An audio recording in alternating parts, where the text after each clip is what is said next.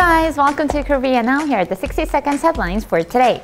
South Korea's constitutional court said the government's deal with Japan in 2015 on wartime sex slaves is not subject to its formal review. It said the agreement is a political one and various assessments of the deal are in the realm of politics. The South Korean unit of Japanese conglomerate that sells Uniqlo and brand products said its net profit fell 9.9% from a year earlier. This was due to local sentiment against Japanese product. The Korean Roman Catholic Archbishop of Seoul, Cardinal Yeom emphasized happiness through thankful hearts and sharing of love in his New Year's message. BTS's agency Big Hit Entertainment said the suspects of malicious commenters of BTS have undergone investigation and some have sentenced with fines. Finance Minister Hong Nam-ki says South Korea's economy is expected to gain recovery momentum next year, supported by a global economic recovery and an anticipated upturn in the memory chip market.